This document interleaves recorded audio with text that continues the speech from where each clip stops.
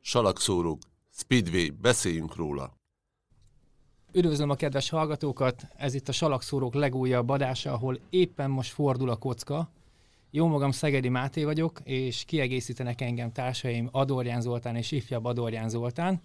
És a mai nap egy olyan fordulópont érkezett el, ahol, ahol végre megtudhatjuk, hogy ki is van a megszokott mikrofon mögött, úgyhogy Boros Norbertől fogunk egy kis, egy pár kérdést feltenni, hát hogyha a vesélybe is bele tudunk végre látni. Üdvözlöm a hallgatókat, ez egy nagyon érdekes és nagyon izgalmas konferenc lesz, majd meglátjuk, mi sül ki belőle. Igen, hát Norbiról annyi jut eszembe, hogy mindig kedves, érdeklődő ember, és most végre legyen ne csak érdeklődő, hanem érdekes is. Én tudom, hogy érdekes ember, úgyhogy zobadjunk neki. És reméljük, mert hogy ugye aki ismeri a sportot és követi, az elég gyakran látta már Norbit, ugye kimagasla kimagaslasz a tömegből a termetednél fogva. Reméljük most azért a, az újságírói kvalitásodat, mint önmagadról megcsillogtatod. Norbi, elsősorban mesélj már nekem, hogy a salakmotor az hogy jött a te életedbe? Én is köszöntök mindenkit. Hát, hogy hogy jött, igazából erről már meséltem, de szerintem úgy, mint sok debreceninek. Én is szülői ráhatással kerültem ki az első versenyre, és gyerekként ö, apám vitt ki mindig a motorversenyekre. Pont ezt felemelítettük, amikor Szegeden voltunk, de az érdekes történet volt, mert szombaton egy lagziba voltunk, és vasárnap pedig megnéztük a bajnoki döntőt, mert akkor két napos volt, és ez az első olyan emlékem, amit, amit vissza tudok idézni. Mikorra is tesszük ezt? Ezt 83-ra tesszük. Tehát Szerint... 10 éves voltam de akkor már rendszeresen jártunk. Ez volt az első ilyen vidéki túra, és ezt követően azért egyre sűrűbb lett, és utána már egyedül is jártam versenyekre, barátokkal, haverokkal, tehát utána már ez a szülői kapcsolat megszakadt. Melyik, melyik gondolat érlelődött meg benned először, hogy ez érdekel téged, mint sport, amit csinálni szeretnél, vagy egy olyan sport, amit, amire rálátást akarsz nyújtani azoknak, akik nézik a lelátón? Az az érdekes, hogy én sose akartam kipróbálni. Tehát bennem nem volt meg sose az a vágy, hogy felüljek és menjek. Hogyha, hogyha ez hajtott volna, akkor, akkor inkább futballról írtam volna, hiszen több mint tíz évig fociztam. De olyan eset is megtörtént, hogy volt egy, egy hétközi bajnoki forduló, és akkor nem mentem edzésre, ellógtam, hanem inkább kimentem a gázvezetékre, és a versenyt néztem meg. És nagyon érdekes volt, mert akkor már csináltuk ezt a szurkolói klubot ezt a Speedway Fan Clubot pár ugyanilyen fanatikussal, mint én, és akkor rendkívül idegesítő volt, hogy volt egy hétvége, amikor három verseny is volt, ahol a Debrecenek érdekeltek voltak, és a hajdubéheri napló nem írt róla egy sort se. És ez nagyon feldühített, és azzal a lendületet, de mai napig nem értem, hogy hogy volt bennem akkor a kurázsi. Bekopogtattam a sportrovat ajtaján, és feltettem a kérdést, hogy mi ez már, hogy nincsen salakmotorról hír, és kiderült, hogy akkor alakították át ott a, a sportrovatot, nem volt ember, és akkor mondták, hogyha ennyire frusztrál ez a dolog, akkor írjál róla te. Tehát akkor, hogyha összegezzük, akkor a salakmotor indította el téged a, a, az újságírói karriered pályáján? Abszolút. Abszolút, bár, mint mondtam, fociztam, és azért a foci is nagyon közel állt hozzám, sose felejtem el, egy válogatott mérkőzés volt, anyámmal néztük, és ezt ő emlegette fel nagyon sokáig, hogy azt hiszem Knézi Jenő közvetítette, és felrúgtak egy magyar játékost, és mondta Jenő, hogy, hogy nem látom, hogy ki az, aki ott fekszik a pályán, és én mondtam, hogy de hát az Garaba. És akkor utána pár pillanat múlva újra mutatták közelről, és tényleg Garaba volt, és anyám ezt a, nagyon szívesen emlegette fel ilyen összejövetelenként, tehát valamilyen szinten már kódolva voltam, hogy, hogy a média valahol elkaphat. Tehát akkor a szemed úgymond meg volt hozzá. Viszont itt egy gyors kérdés, hagy vessek közbe, hogy ha az értesüléseim nem csalnak, akkor van keresztmetszet is, mert ha minden igaz, te játszottál a volánba, a hajdú volánba. Így van. Tehát én a, a Lokiban futballoztam, aztán jött az érettség, és úgy gondoltam, de amúgy ez csak kamu volt, hogy inkább a tanulásra összpontosítok, mert ugyanúgy nem összpontosítottam utána se, tehát a Lokiba abba hagytam, és akkor Font Tamás bácsi volt a, a volánnak az edzője, és nem is tudom, hogy hogy talált rám, és mondta, hogy menjek már ki egy, egy edzésre, nézzük már meg, hát ha tetszik. És tél volt, emlékszem, a hátsó salakos pályára mentünk ki, és az első edzés után azt mondta, hogy nem csak a volánba szeretne látni, hanem ő a megyei válogatottnak az edzője, és hogy ott is, ott is játszani fogok. És aztán, mivel hogy nem volt olyan, mint a, a Lokinál, hogy heti hét edzés, hanem hetente egy-kettő esetleg, meg utána a bajnoki, így beálltam, és egy, egy szezont le is húztam, és bónuszként még jegyeket is kaptunk a motorversenyekre. Milyen poszton játszottál? Hát én középcsatár voltam, a, a klasszikus 9-es, bár tízesként kezdtem, tehát ilyen irányító középpályásként, de az első szezon felénél úgy döntött a, a, az edzőnk, hogy, hogy, hogy cseréljünk az egyik csapattársammal, aki azóta szerintem elég szép karriert futott be, mert ő a Sándor Tamás. Te, bocsánat, te benne voltál akkor ebbe a foci és alakmotor dologba már az elején. Te mit gondolsz arról, hogy legyen egy kis bulvár felhangja is ennek a riportnak? Te mit gondolsz amúgy, hogy a focisták vagy a motorosok jobb fejek? az, hogy jobb fejek. Én azt megtapasztaltam, amikor sportrovatvezető voltam, hogy igazából a sport az, az két részből áll. Van a futball, meg a, van az összes többi sportág. Illetve a, a sportközönség felé is van egy olyan rész, aki azt mondja, hogy sokat írsz a Lokiról, a másik meg az, hogy keveset írsz a Lokiról. Tehát olyan, hogy, hogy elégedett legyen a társaság, olyan, olyan sosincs. De igazából, hogy ne kerüljem ki a kérdést, tehát mind a két sportágban azért a kemény mag elég erős. Tehát megtapasztalhattam, hogy ki, ki milyen játékos, milyen ember, mennyire bohém, de úgy pont, lehet, hogy Zoli veled beszélgettük, hogy azért a salakosoknál olyan egyéniségek vannak, hogy, hogy egy Duma színházat abszolút össze lehetne állítani. tehát amennyit, tehát a múltkor, amikor mentünk Nyíregyházára a díjkiosztóra, és ott volt Zoli, ott volt Subi, ott volt Magosi, tehát ezek az emberek egy tényleg egy Duma színházat meg tudnának tölteni, mert amilyen stílusban előadják a dolgokat, meg amilyen sztoriaik vannak, az, az tényleg óriási. És akkor még nem említettem Szatmári Lacikát, Csirkének is, amilyen dumája van, tehát, és nem akarok kihagyni senkit, de, de amúgy érdemes lenne ezzel is elgondolkozni. Akkor vannak olyan ö, versenyzők, akik mondjuk úgy kedvenceid, vagy hát akik így kicsit közelebb állnak a szívedhez. Hogy tudtál mindig pártatlan maradni, amikor írtad a cikkeket? Én mindig arra törekedtem, hogy, hogy azt írjam le, amit láttam, és nem azt, amit éreztem. És, és úgy gondolom, hogy ez, ez sikerült. És ennek az a bizonyíték a számomra, hogy hogyha meghívok egy, egy Stefánit Nyíregyházáról, hogyha meghívok egy Petrikovicsot Nyíregyházáról, vagy beszéltem a szegediekkel, ők is egyből azt mondták, hogy oké, okay, persze, hogy tudnak, jönnek. Mert én úgy gondolom, hogy próbáltam pártatlan maradni, Persze bele lehet mindenben magyarázni bármit, és, és sértődések is biztos, hogy vannak, meg voltak, de az én lelkiismeretem tiszta. Ha már így Zoli felhozta, hogy, hogy kedvenc, kevésbé kedvenc, akkor ne kerüljük el azt a kérdést, hogy ki a kevésbé kedvenc, akár nemzetközi szintéren. Nemzetközi szintéren... Vaj szint, Norbi. Vaj szint. Nem, én, csak én, az igazat Csak az igazat. Tehát számomra Hans Nielsen mindig is etalon. Volt és, és lesz is. Tehát sose felejtem el, amikor Pilában voltunk a csapat VB döntőn, amikor még magyarok is ott voltak, és hemzsegett a depó úgy, ahogy szokott, egyszer csak így elnémult mindenki. És akkor néztem, hogy most mi történt. És az történt, hogy Nielsen a buszával megjelent a depóba. És abban a pillanatban megállt az élet, mindenki őt figyelte utána a Román Povazsnyék oda mentek fotózkodni vele. Tehát amikor egy versenyző kér másik versenyzőtől közös képet, szerintem az mindent elmond. Tehát Nielsen mindenféleképpen etalon számomra.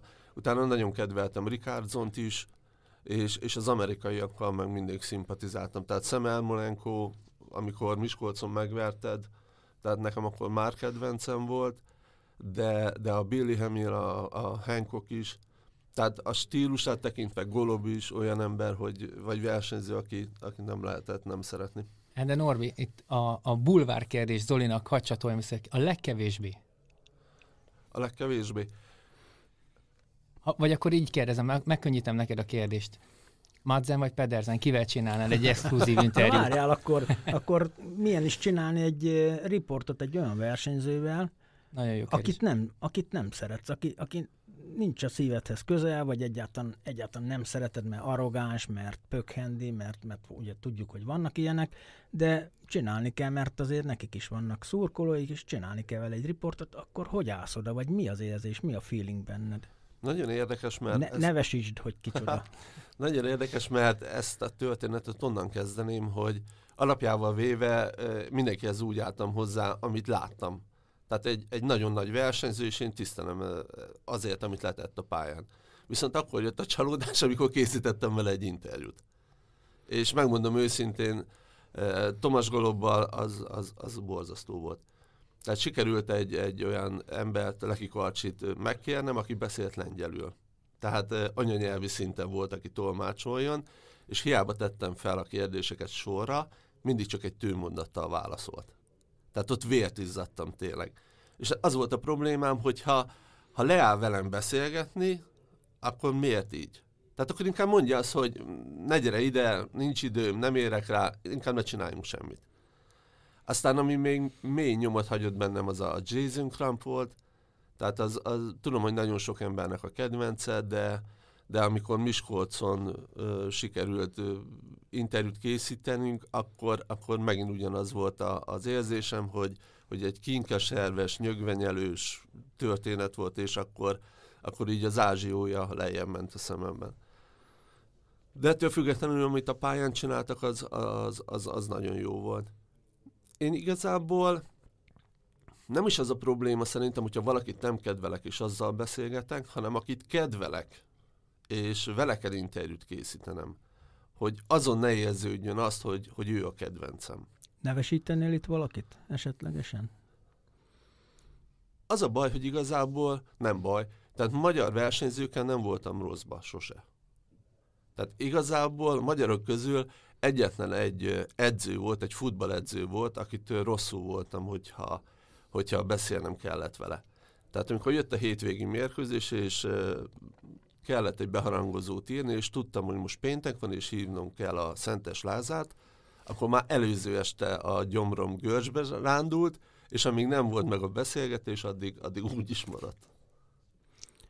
A te pályafutásod során mit érzel?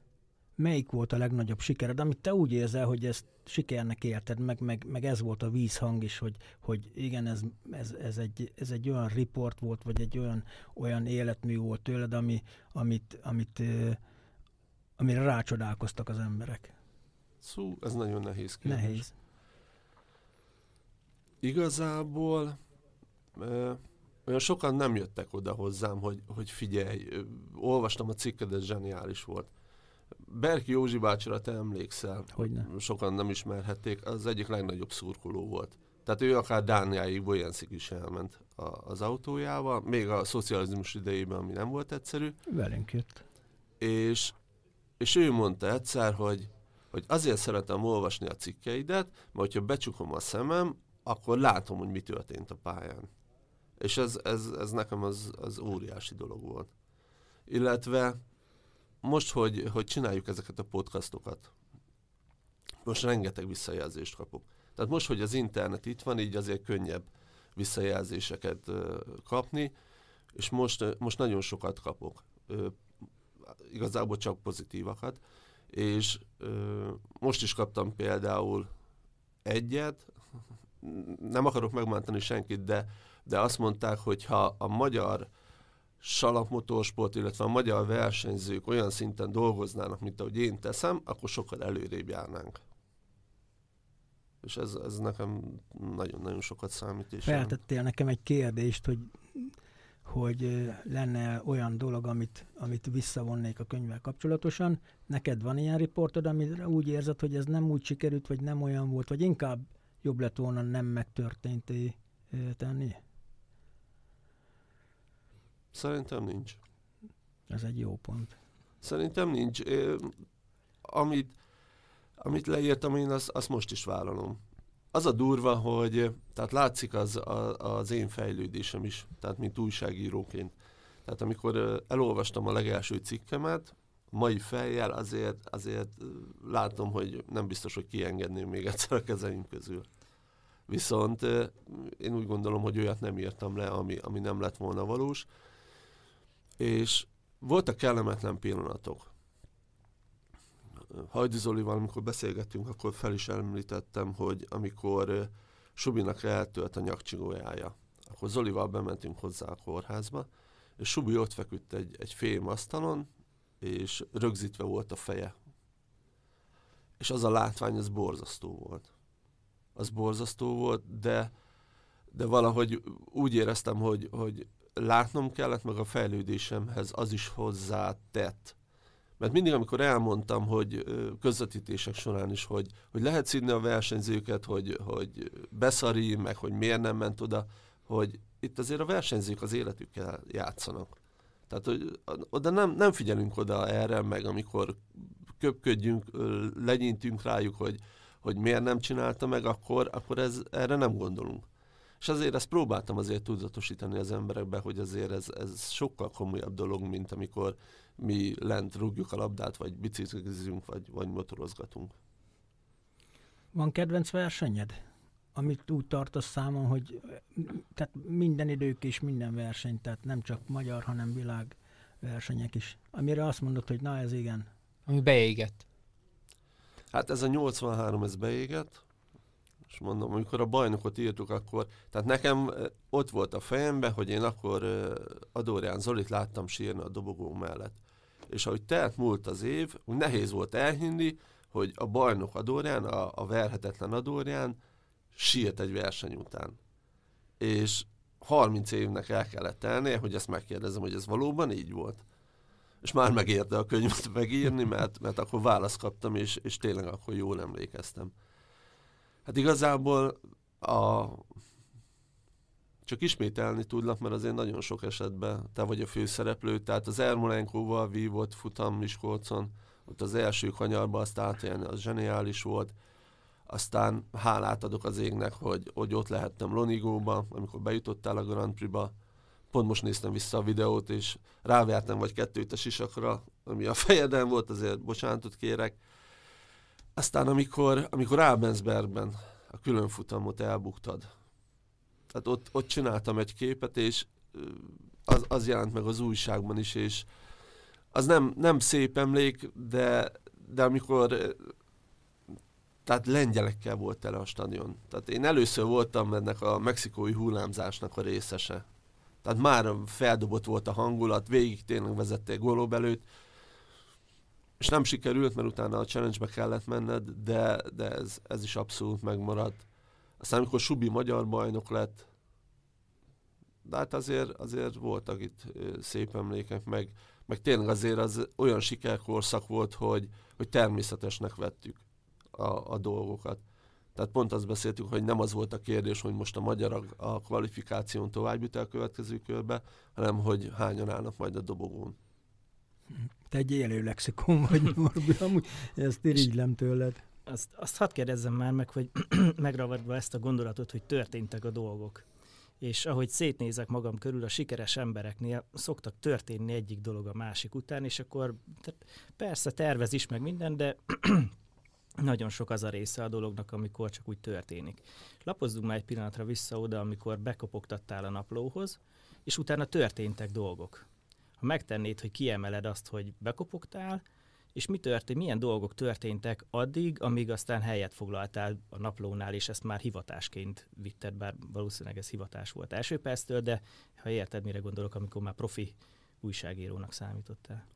Nagyon érdekes volt, mert mint mondtam, én kívülről érkeztem, tehát én nem tanultam a szakmát, és csak amit, amit odáig magamba szippantottam, és ezért mondtam a, a, az új újságíróknak, akik kijöttek az egyetemről, vagy innen-onnan, onnan, hogy, hogy olvassatok rengeteget. Tehát én annak idején rengeteget olvastam a, a, a naplót, a nemzeti sportot, könyveket, tehát onnan tudtam egy, egy alapot teremteni az írásaimhoz. És ahogy a naplónál elkezdtem írosgatni, kaptam a, a, a javításokat, a tanácsokat, azokat mindig próbáltam megfogadni, és szerintem az volt a szerencsém, hogy valamilyen szinten egy, egy űrt tudtam betölteni. Tehát ezt is elmondtam már többször, hogy hogyha most amihez a legjobban értettem volna, tehát a futballhoz akartam volna kapcsolódni, és futballszakíró lenni, akkor lettem volna az 1366 Viszont a, a salakmotorosokról igazából akkor már nem nagyon írt senki. Tehát már Kabai Sanyi se írt például a motorrevőbe. És utána szép fokozatosan kezdtem be dolgozni magam a, a, az országos médiába, tehát a napló után jött a Nemzeti Sport, utána jött az MTI, utána meg már úgymond felkérések jöttek. Tehát nem igazán volt olyan technikai újság, akinek ne dolgoztam volna. Tehát automotor, motorrevű, motorsport Magyarországon, sőt most, ahogy itt rendezgettem a dolgaimat, most látom, hogy olyan újságban is írtam, amire már nem is emlékszem. Volt mentorod, vagy valakit, aki vagy hivatalos, vagy csak te annak tekintettél? E, igazából nem. Tehát akkor autodidakta módon. És példaképed, Igen. akivel nem feltétlenül tartottál kapcsolatot, csak úgy gondoltad, hogy mondjuk az ő stílusjegyei szimpatikusak. Uh-huh. Hát Kaba is annyit az előbb említettem. Tehát ő, ő a motorrevűbe írt, és nekem nagyon tetszett a stílusa. Tehát ő ilyen összefoglalókat írt, mivel a, a hely terjedelem nem is engedte volna meg, hogy, hogy tudósításokat írjon, de az a fanyar, humor, tehát az a stílus az nekem nagyon tetszett. Én nem gondolnám, hogy, hogy ennyire laza vagyok, mint amilyen ő volt, tehát én, én inkább azon voltam, hogy a, a, tényleg, hogy a tudósítások jók legyenek. De nagyon érdekes, mert tényleg utána, hát az egyik legnagyobb dolog az volt, amikor a, a, a Sport TV felkért. Tehát, és az is, tehát a Nemzeti Sport által jött ez a lehetőség, mert Misúr Tomi felhívta Tótanitát, aki a, a Nemzeti Sportnál a, a technikai részleget vezette, hogy ajánljon valakit, aki a salakmotorhoz ért és akkor felhívott Misúr, hogy, hogy megszerezték a Grand Prix-t, meg akkor még volt Brit Liga is, és hogy vállalnám-e. akkor éppen Simon Miklósnál dolgoztam, és ahogy letettem a telefont, hogy kérdezte, hogy Mizu, mondom, hogy ez van, és akkor ez most komoly, ilyen orhanggal. Hát mondom, figyelj, ez van, ezt kell szeretni. Mondom, én már megszoktam, a nézők meg, hogyha akarják, megszokják, ha meg nem, akkor nem és az egy 15 éves történet volt. Tehát nem mondom, hogy nem voltak hullámvölgyek, mert azért, amikor két hetente járni kell, az azért elég megerőltető, de azért nagyon, tehát olyan dolgok, hogy nem is álmodik az ember ilyesmiről. Tehát amikor kezdtük, akkor még Zolival mentünk, mert a Grand Prix közvetítés úgy nézett ki, hogy volt egy stúdió, ahol Zoli vagy Kapival, Kapláref Józseffel, vagy Gundel Takács Gáborral vezették a műsort, én meg benne a stúdióba Fülöp.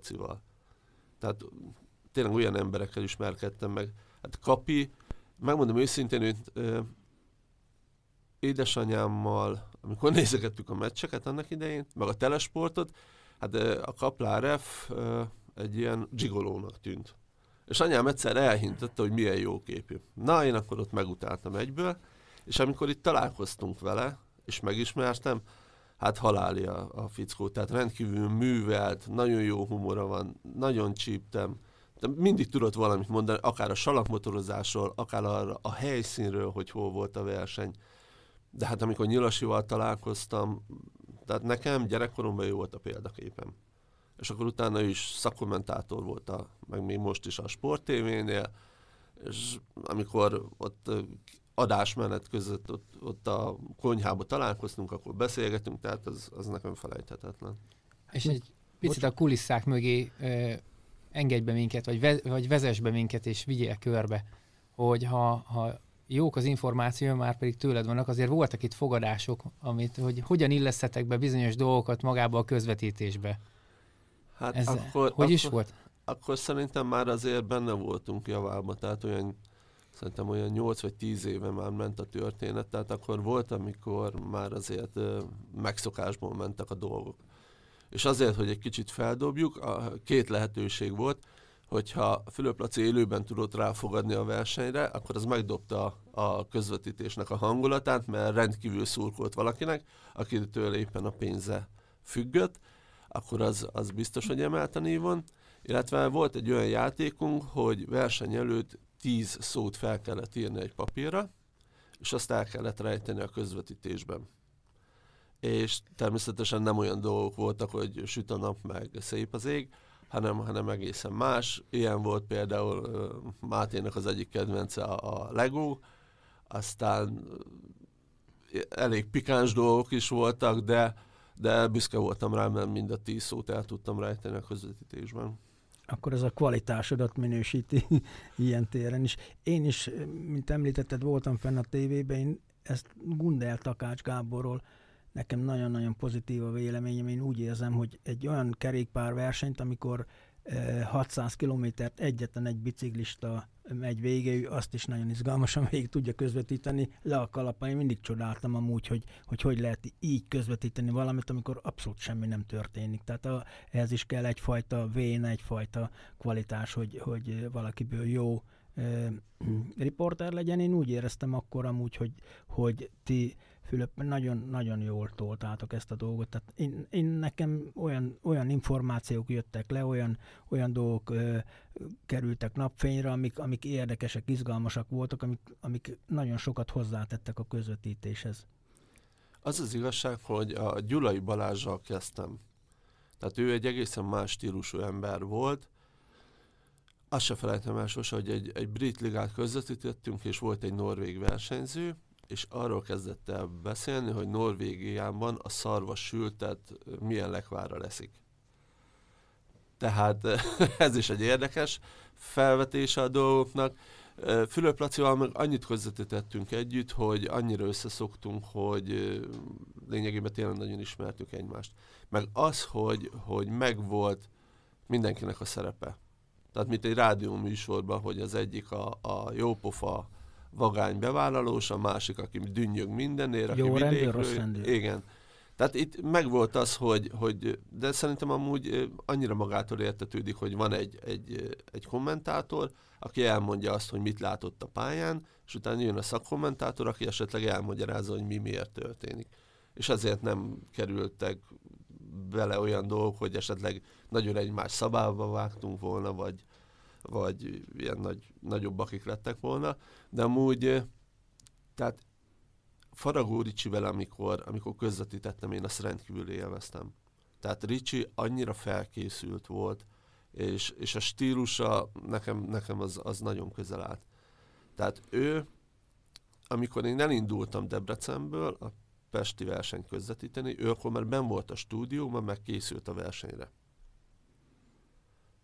de minden egyes versenyzőnek az adatlapját megnézte, tehát a, az ő profizmusa az, az lenyűgöző volt. És ez, ez előbb felmerült, hogy a, hogyan kezdted magát az újságírást, és hogy ahogy visszatekintettél az első írásaidra, és azért nem biztos, hogy kiengedted volna.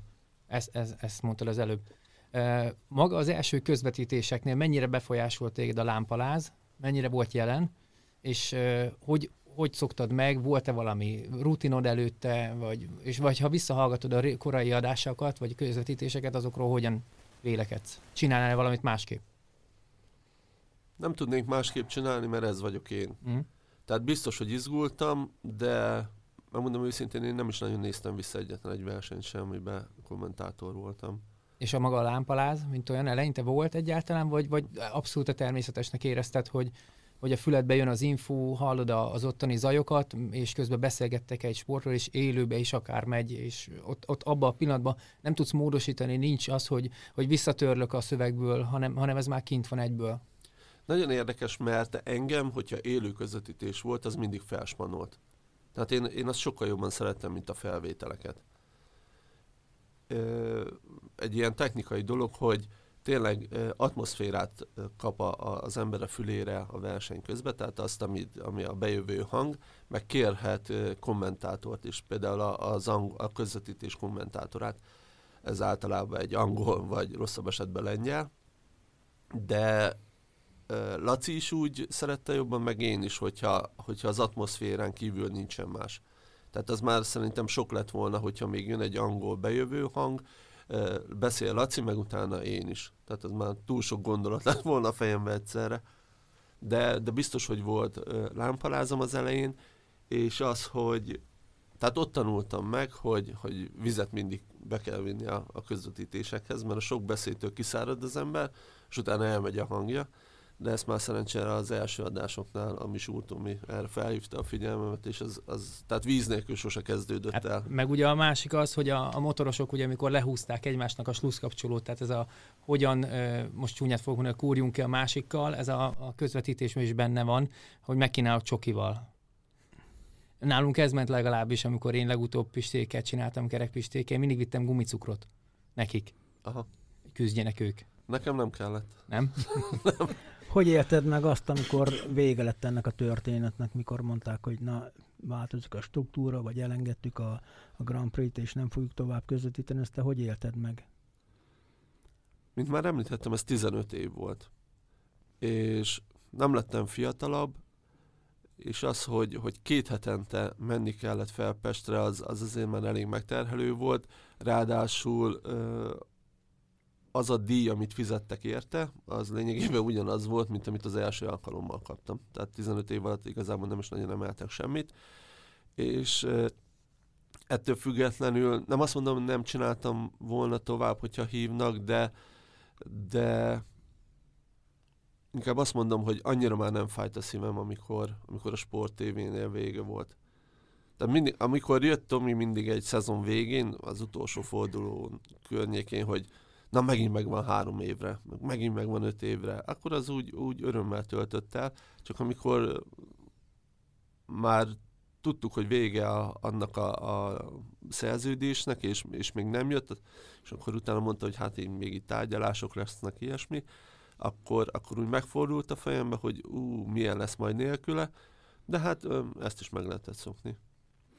Neked jó a rálátásod akkor erre a salakmotorozásra, ezt most már mindenki tudja, látja. Ismered a hazai, a külföldi versenyzőket, nem tudom, hogy megfordult a fejedbe, hogy ki az a 16 ember, akit te egy álomcsapatba összeraknál? Hát igazából bocsánat, nem nagyon. Bocsánat, minden idők, tehát Aha. a, a BRICS-től kezdve mindenki. Az a baj, hogy akiket nem láttam, azokról igazából nem tudok véleményt alkotni. Tehát most Majorről is tudom, hogy, hogy hatszoros világbajnok, de igazából nem láttam a stílusát, ezért nem, nem hiszem, hogy ott lenne az én versenyemen. Tehát nekem, nekem Nielsennel kezdődött minden. Tehát, tehát az a korszak. De hát akiket az előbb említettem, tehát a, a, a Nielsen, a Ricardson, a, a Ermolenko, Hancock, Hamill, ezek mindenféleképpen ott lennének, a Tomas Golob is, de nagyon sok olyan versenyző van, aki, aki nem világbajnok alkat, de, de, de szerintem meghívnám. Tehát például ilyen a, a, a Lee Adams, és ezt annyiszor beszéltük, hogy, hogy nagyon sok versenyző van, viszont kevés világbajnok. És az, aki, illetve kell egy kis plusz, ami a nagyon jó versenyzőt világbajnokká teszi. És ez, ez nem mindenkinek adatot meg. Viszont vannak olyan versenyzők, akik még a régi szisztéma alapján is egy versenyen tudtak egy maradandót alkotni, mint például Gary Havelok, aki szerintem abszolút nem világbajnok alkat, de ugyanezt elmondhatom egy másik britről, a Mark Leremről, aki azóta is, tehát Fülöp Lacival is mindig rögtünk rajta, hogy, hogy úgy lett világbajnok, hogy nem nyert fordulót a Grand Prix-ban. De világbajnok, és ezt nem lehet elmenni tőle. És hogyha már a különböző ö, korszakok versenyzőiről beszéltünk, akkor beszéljünk magáról a korszakról. Hogyha vesszük azt, hogy a 80-as évektől 90-es évek közepéig volt egy erős, ugye az álló ö, hengeres motoroknak a korszaka, mostanság úgy hívják, hogy a Golden Era, hogy az aranykorszak, Utána az á, a fekvőktől, 95-től mondjuk egészen ilyen 2010-ig, amíg be nem vezették ezt az újabb kipufogót, ami azóta már módosul, de hogy addig volt egy, mondhatni egy korszak, és akkor, hogyha ha így három korszakra bontjuk, akkor 2010-től manapságig ezeket, ezt a három korszakot, hogyha így deklaráljuk. Attól függetlenül, hogy régen minden jobb volt, mert ezt azért nagyon sokszor olvasjuk a neten, hogy régen persze minden jobb volt, de a három korszakot, ha összehasonlítod, neked melyik a kedvenced? És miért? Tehát főleg a miértem van a hangsúly. És a nosztalgia faktor most ne befolyásoljon, ha lehet. Én azt mondom, hogy nekem a kedvencem az, az a korszak volt, ami, ami a Grand Prix-val érkezett el. Tehát ez már a, a fekvő korszak. Tehát 95-től. 95-től, igen. Tehát én, én azt érzem a, a szívemhez a legközelebb, mert akkor tényleg, akkor volt a legtöbb korszakos zseni a sportágban, és egymás ellen küzdeni őket, vagy látni, hogy ahogy küzdenek egymás ellen, az, az felbecsülhetetlen. Tehát amikor bejöttek egy futamra, és akkor mondod, hogy négy világbajnok csap össze, akkor azt szerintem mindent elmond.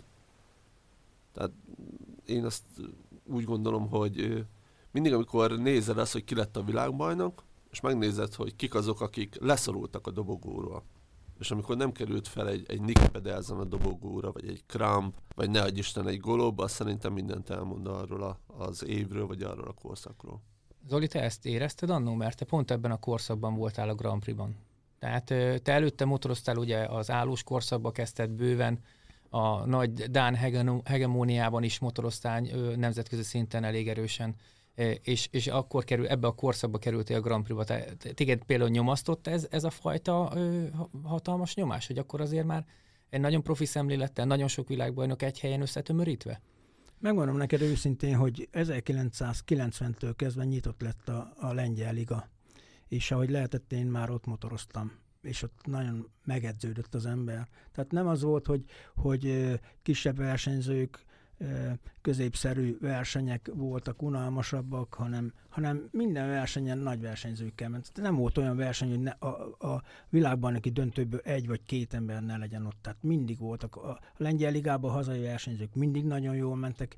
Így én, én úgy gondolom, hogy nekem nem volt óriási nagy változás az, hogy eljött a, a Grand Prix olyan szempontból, hogy, hogy sokkal jobban megmutatta azt a Grand Prix, hogy ki is az igazán jó versenyző, hiszen egy hosszabb sorozaton kellett bizonyítani végig, sokkal kihegyezettebb volt már, sokkal nagyobb volt a tét, hiszen én úgy gondolom és vallom azt, hogy, hogy a Grand Prix, a, a Grand Prix megszerzi az ember azt a fajta nevet, amivel majd a többi nagy versenyen amiből tud profitálni. Gondolok itt a lengyel rigára, hiszen évelején azért mindenki aláírja azt a kis szerződést, ahol ott van a... A, a matek. Ott van a matek, igen. És az nem mindegy azért, hogy a Grand Prix, hogy hol végzett. Ez egy nagyon jó dolog persze, hogyha valaki világbajnok lett, hogyha Grand Prix-t nyert, de hogyha azt írja le, hogy én a top 6-ba voltam, azért az már ott, egy, ott a számokat azért egy kicsit megváltoztatja ugyanúgy volt ez, ez én nálam is, én velem is. Nem éreztem nagyon nagy differenciát, hiszen én fokozatosan bele, bele nőttem, bele szoktam ebbe a, ebbe a közegbe, és már nem tűnt annyira nagy ö, kontrasztnak a, a sima nemzetközi verseny vagy a Grand Prix. Uh-huh. És ha, ha, már, ha már itt járunk, ugye felmerül sokszor az a kérdés, hogy, hogy manapság azért egy lengyel liga nagyon élvezhető, mint, mint önmagában egy versenysorozat és sok felől jön az az információ, hogy a közönség jobban szereti már majdnem, mint a Grand Prix-t. Neked, Norbi? Grand Prix vagy Lengyel Liga? Az a baj, hogy, hogy most már látom azt, hogy annak idején, amikor a Lengyel Ligánkon teltház volt, és utána oda mentünk egy Grand Prix challenge vagy egy ilyen kontinentál döntőre, és akkor fél ház előtt mentek a versenyek, hogy nem értettem, hogy miért. És most már értem. Tehát Ráadásul az extra liga, illetve most a lengyel ligák olyan szinten fel vannak húzva, közvetítés szempontjából, marketing szempontjából, hogy, hogy tényleg az a legmagasabb szint. És ott egy csapatverseny kihozza azt, hogy tényleg nem csak egy-egy versenyzője szurkolsz, hanem egy egész csapatért. Tehát, hogy minden futam izgalmas. És ezt már nem egyszer beszéltük, hogy, hogy ez a Grand Prix, illetve a mezőny most már nem annyira izgalmas, ráadásul olyan pályákon versenyeznek, ami alkalmatlanná teszi, hogy még, még ebből is a legtöbbet kihozzák, és így, hogyha ne adj Isten egy-egy Grand Prix-t nem tudok megnézni, akkor nem fáj a szívem annyira, mint hogyha egy, egy lengyel ligás rangadót kell kihagynom. Um, egy gyors váltással hagy kössek vissza így az újságírásra, hogy uh, ugye hozzád köthető az, hogy, hogy a, a helyi médiába azért elég erőteljesen reprezentálva van, amennyire lehet maga a salakmotorsport. Viszont úgy amblok a technikai sportok még mindig alul vannak reprezentálva, mert valahogy egyszerűen a, a valahogy mindent a, a, a labdajátékok és a e, kiemelt látványsportok uralnak, hogy e, egy, egy picit kapcsolnék is másik vendégünk, akinek szeretnék ezúton gratulálni az idei magyar bajnoki címéhez, ifjabb Dorján Zoltánnak, hogy őket például a Supermotót, ugye legutóbb volt nálunk a Flat is, vagy akár a Gokártól is beszélhetnénk, hogy, hogy hogyan lehetne és miért nem. Ha, ha, ha nincs, akkor miért nincs valahogy? Te, mint benfentes. Hát szerintem ez az elsődleges probléma, hogy, hogy nem megbántva senkit, hogy ők nem profi szinten űzik. Hogyha profi szinten űznék, tehát hogyha tényleg ebből élnének, akkor ez azt eredményezni, hogy valószínű, hogy itt a környéken lenne pálya. Ha lenne pálya, akkor valószínű, hogy rendszeresen kijárnának emberek nézni őket, és azáltal sokkal kerül, közelebb kerülnének hozzá és akkor így a népszerűsége is sokkal nagyobb lenne, és akkor nagyobb lenne az érdeklődés is iránta. Ha salakmotor, akkor lenne egy nagyon jó kérdésem. Ha azt mondom neked, hogy salakmotor vagy speedway, gyorsan három szót mondjál, ami eszedbe üt egyből, hogyha ezt kimondom, hogy salakmotor. Hopp. Na, hát, igen. Lemaradtál startból, egy kicsit lemaradtál. Igen. Gondolom. Nekem igazából az jut eszembe, hogy, hogy szerelem, az, hogy, hogy és nem azért, mert itt vagy, de az, hogy adórián, és, és most az, hogy salakszórunk. Amúgy sokáig gondolkoztam rajta, hogy, hogy most, hogy igazából visszatértem a, a salakmotoros újságíráshoz, hogy a honlapomnak mi legyen a címe.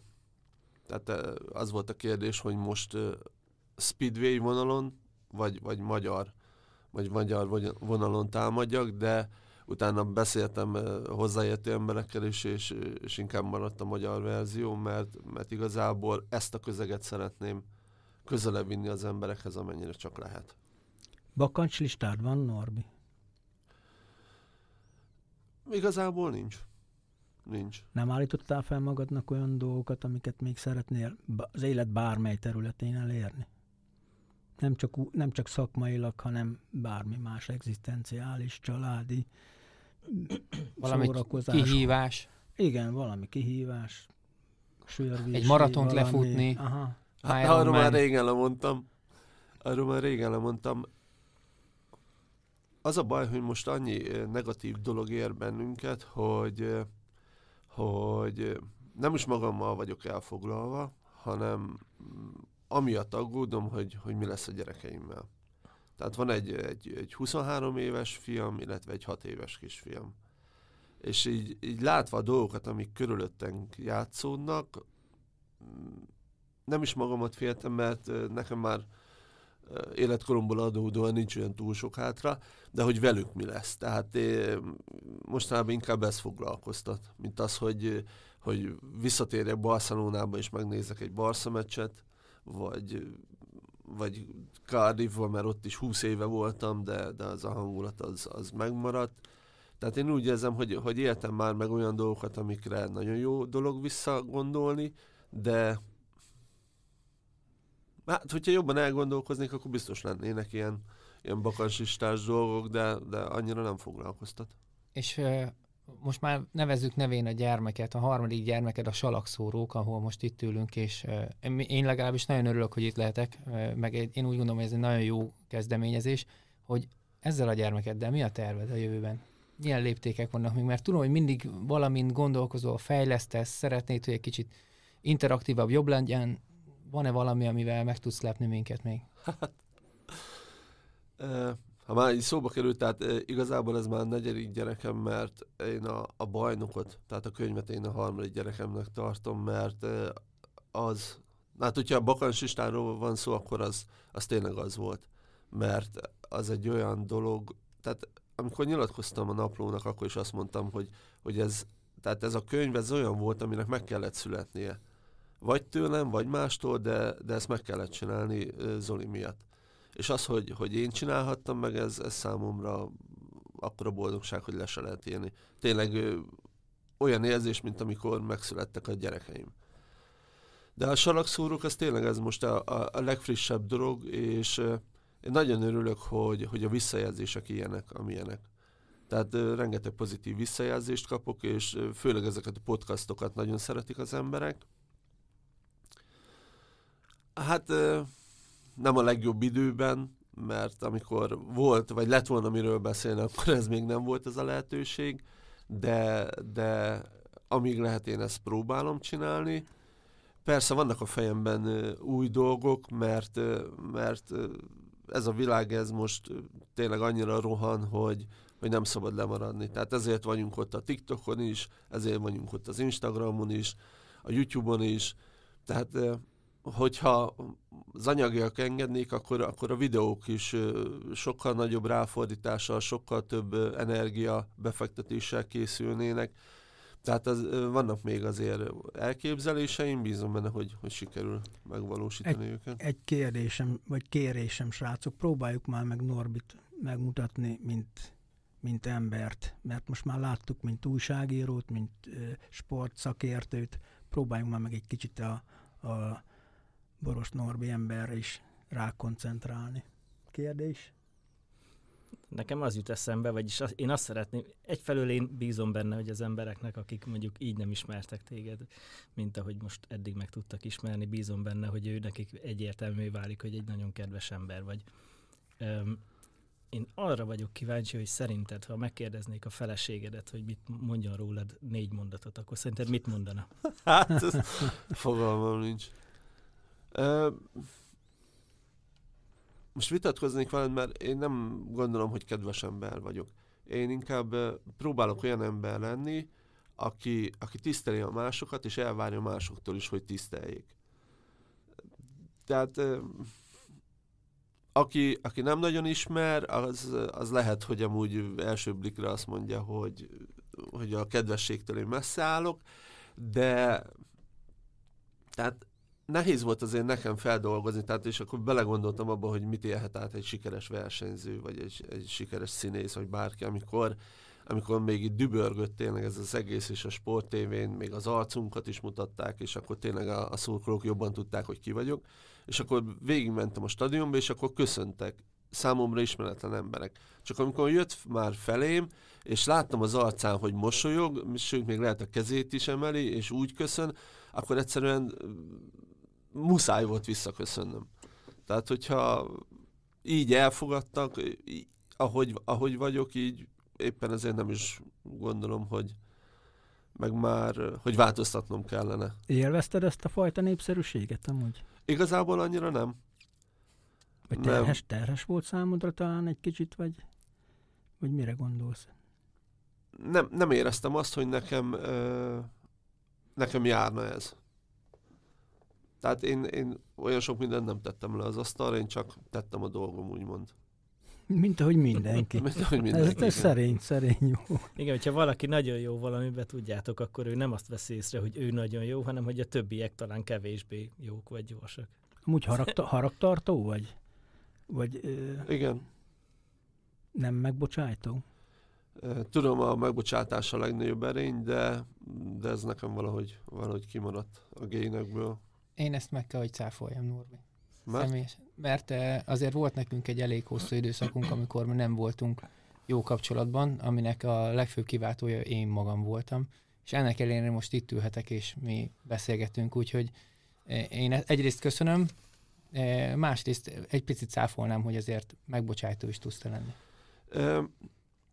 én azokat az embereket nem értem, akiknek, hogyha valami baja van velem, akkor, akkor miért nem beszéljünk meg. És én úgy, tehát én igazából azt sem tudtam, hogy neked milyen problémád van velem, és hát éreztem, hogy távolságot tartasz, de tehát én nem igazán vagyok ilyen simulékony se, de mondom, hogyha neked így van, akkor, akkor így én, én ezért nem is zaklattalak. Mert uh, utána kiderült, hogy mi a problémád, utána én is elmondtam, hogy, hogy mit miért csináltam, és szerintem, tehát ez a tipikus dolog, amikor az éremnek két oldala van. Ez így van. Tehát... Mondjuk én közben fel is nőttem, tehát... Na, szerény, szerény. Mármint, hogy legalábbis idősebb vagyok. Nem, tehát éppen azért mondom, hogy, hogy én szándéka nem bántottam meg soha senkit, akár közvetítések vagy tudósító, tudósítások során. De lehet, hogy valakiben egy mondatért, vagy azért, mert nem fotóztam le, vagy azért, mert megírtam, hogy valójában hogy mi történt, ezért lehet, hogy tüske van benne.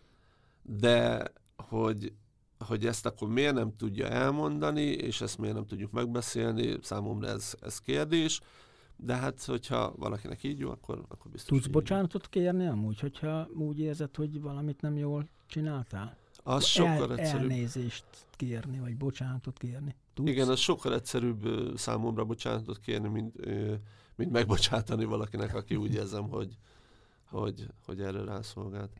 Tehát most is megbeszéltük a 11 órát, de ti azt mondtátok, hogy 10-re volt megbeszélt, tehát én úgy jöttem, hogy bocsánatot kérek, de tudtam, hogy 11-re kell jönni. Pedig megbeszéltük, hogy mind a hárman konzekvensen a 10 órát fogjuk neked állítani innentől, hogy Igen. legalább érezd magad rosszul, hogy te pontosan jöttél meg egy órával. De nem, nem voltál benne partner, úgyhogy elengedtük ezt a dolgot. Amúgy mit szoktál csinálni, amikor, amikor nem újságíró vagy, amikor nem családapa vagy, hobbi, csak tévézel, vagy mit? Van valami, ami, amit, amit kikapcsolódásképp tudsz csinálni, vagy szeretsz csinálni? Amúgy annyira érdekes, hogy az életemet idáig mindig a sport töltötte ki. Tehát amikor a salamotoros szakújságíró voltam, akkor is amellett például volt, hogy a, a naplónak én voltam a, a DVSC labdarúgó csapatával foglalkozó újságírója. Tehát minden egyes megmozduláson, ami a Lokinál történt, arról én tudósítottam. Utána volt egy korszak, amikor én voltam a DVSC női kézilabda csapatának a sajtófőnöke. Tehát ö, az is egy, egy elég zsúfolt időszak volt. Viszont amikor a naplónál főszerkesztő lettem, és valamilyen szinten kiszakadtam a sportvilágából, akkor nem is írtam más alapot cikkeket, akkor úgy, úgy nyitnom kellett más fele is, és, és most már ott tartok, hogy sportból csak, csak azokat a közvetítéseket nézem meg, ami nagyon-nagyon érdekel. Tehát régebben leültem egy, egy akármilyen meccset is megnézni, vagy egy akármilyen versenyt is, de most már, hogyha nem üti meg az, az inger küszöbömet, akkor nem fogom arra fordítani az időt. Nagy a baráti köröd amúgy? Ö, nem. Nem, tehát én, én inkább azt mondom, hogy nekem olyan barátokra van szükségem, akik, akikre mindig minden esetben számíthatok. Tehát ismerősöd van sok, de barát az... Igen, igen, igen, igen. Igen, így fogalmaznék. De visszatérve, tehát most azért, mivel hogy van egy, egy hat éves fiam, ő azért rengeteg energiát leköt. Tehát vele minden nap focizni kell, aztán vele azért a törődést ő még nagyon igényli. A nagyobbik annyira már nem, de a kicsi az, az rettenetesen. De amikor, amikor este elcsendesednek a dolgok, akkor, akkor kélem magam, ugyanis sorozatfüggő vagyok. Tehát akkor jöhet a Netflix, az HBO Go, ilyesmi. Mi a, mi a, mi a kedvenc? De nem Fatma Gült nézel, remélem, hogy hát, akkor felállok és mentem ki. nem nagyon uh, széles a, a, a paletta. Most a, a True Detective kötött le. Ahogyha már összekapcsoljuk a salakmotort és a True Detective-et. Ja, tényleg, igen, láttam benne ezt a Igen, van, ezt a van egy pár epizód, ahol, ahol salakmotorról szól. Ez egy, ez egy Na, gyilkossági ez sorozat, igen. gyilkosos, nyomozós, kicsit elvont, és az amerikai Industry Hills-nek a pályáján forgattak egy pár epizódot. Igen, mondjuk a futamot nem mutattak egyet se, egy startot mutattak, amikor csak a fejük látszódik, viszont a Hancocknak a, a greenes sapkáját azt a szurkolókon lehet látni. De nem ezért ez a kedvencem, tehát, de, de rengeteg olyan sorozat van, amit, amit nagyon-nagyon szeretek. És ez tényleg a, a vígjátékoktól kezdve a, a kriminát. Azt már, azt már sejtjük, hogy a nagyobbik fiad már nem fog ilyen kérdés elé állítani, de ha a kicsi azt mondja, hogy salakmotor vagy futball, hogy fogsz hozzá viszonyulni? Merre fog menni ő? Amúgy belőle lenne a legjobb sportújságíró.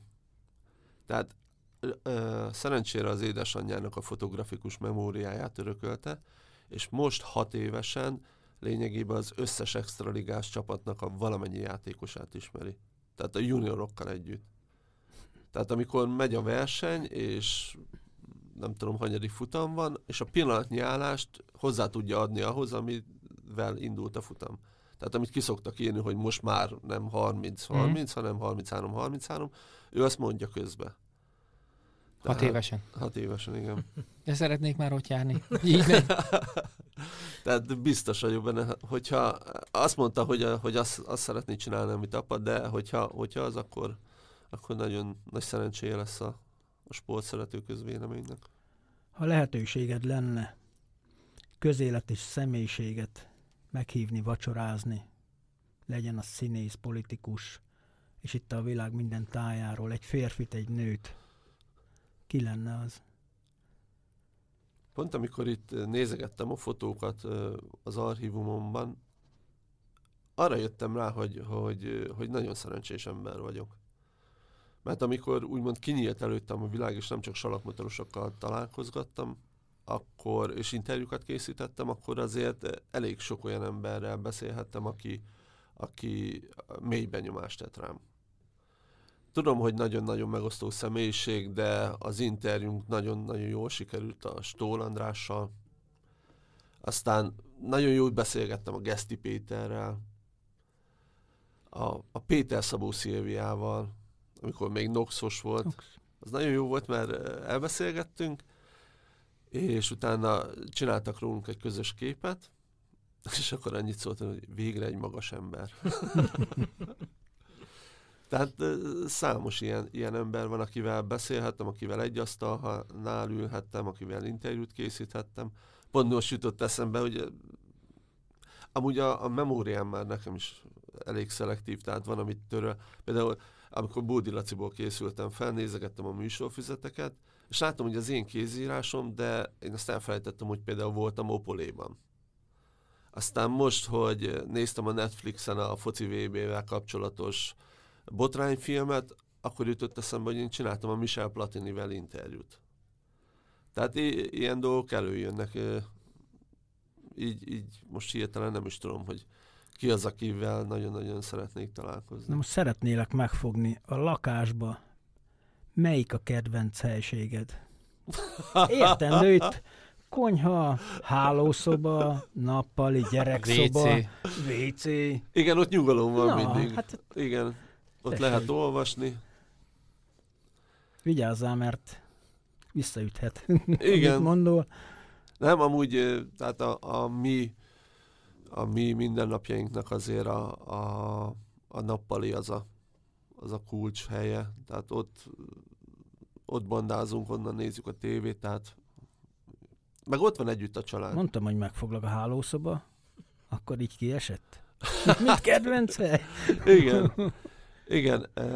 Na, Nem, az az igazság, hogy én nagyon korán elváltam. Tehát két éves volt a nagyobbik fiam, amikor mi elváltunk. És nekem a mindennapos kapcsolatom a gyerekkel azért ez így kimaradt. Most viszont a kicsivel ez megvan, és most élhetem át azt, amit az elsőnél elszalasztottam. És nekem nagyon jól esik az, amikor, amikor ülünk a tévénél, én nézem a tévét, ő nem a tévét nézi, hanem vagy babrál a telefonján valami, de oda bújik hozzám. Tehát nekem ezek az élmények, ezek most, igen. most jöttek meg, ami, ami 20 évvel előtt, és megjöttek Tényleg volna. olyan jó nagy darab fickó vagy, amúgy szeretsz főzni, vagy, vagy szeretsz Nem. enni? Hallod, mostanában azért úgy, úgy eszembe jutott, hogy milyen jó lenne elkezdeni így főzőcskézni. De a grillezésen kívül nem. Pedig Semmi. azért így a salakmotorba Zolit mindig is szerettetek, te is, Subi is állandóan valahogy a kaja körül forgott mindig a, a Disznóvágás, persze.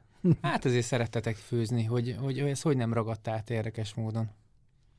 rád is, nem, hogy majd most jön meg ez a hobbi, most jöhetne meg? Nem, szerintem a, a család tagjaim mindig jól főznek. Nem voltam rákényszerítve arra, hogy én is elkezdjek.